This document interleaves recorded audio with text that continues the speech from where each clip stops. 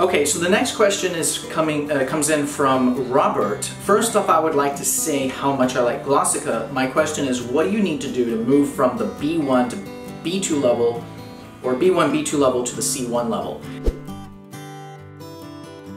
Most of the difference here is not necessarily grammar or syntax. That's the kind of stuff that you should have learned uh, back in the A levels uh, especially with even all of the verb tenses and, how the sentences are put together. The major difference between B1 and B2 and C1 is basically the professionalism with how you speak. So uh, with my analysis of languages from around the world, I've gone and, and learned uh, quite a few uh, Aborigine languages. You'll find that the, the customary way of speaking, these languages are, are not used in professional settings. And so there's a, a lack of vocabulary and, and and there's, you know, they're not used to write, they're not used to uh, write uh, papers or scientific things, even though they, they may do, they do have scientific words for plants and animals. Most of it is, is bot, um, botany and flora and fauna. Um, you're not going to have these languages having the, the, capability to express things in, in a more um, you know, empirical or scientific way.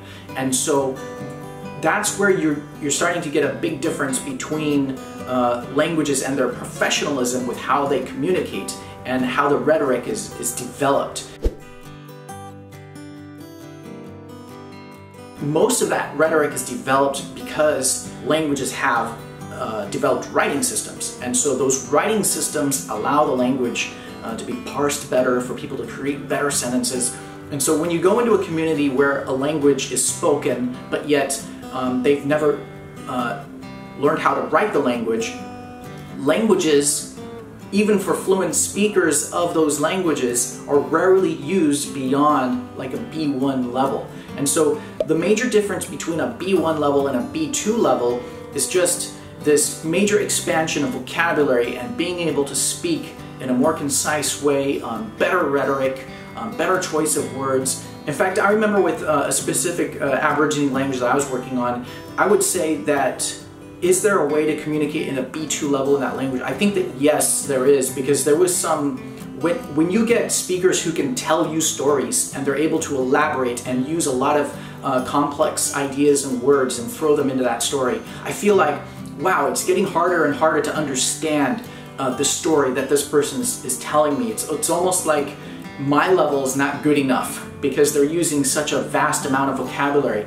Uh, this is like a B2 level in an Aborigine language. And, but you know, to find somebody who can actually tell the story in that way is really, really hard. So I can go around and talk to anybody around there in the village and nobody's going to talk to me like that at a B2 level in that language. It's just, they're, they're just physically not capable of doing it. They just don't use that amount of vocabulary on a regular basis. And even if they could, um, it would just kind of sound out of place. They'd be like, you know, they would only be using that for a specific spot, which is for like telling the story and using this great amount of vocabulary.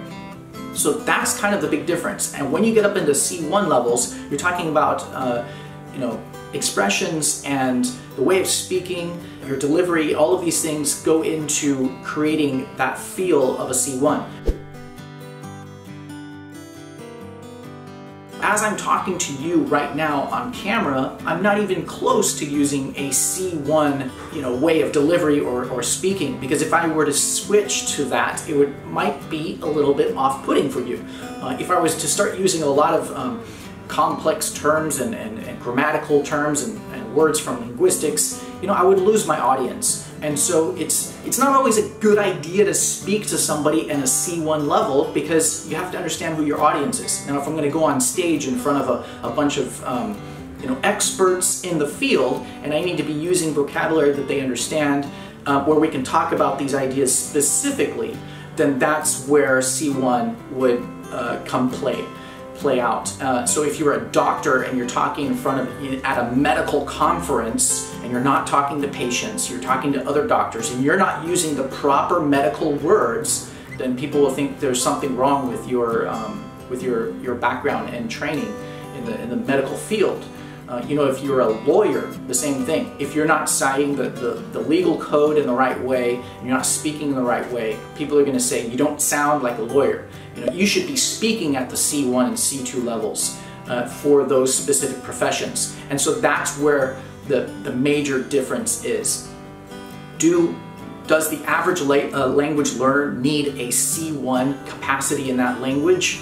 I, I don't think that that is actually necessary. It just depends on what field you're going into.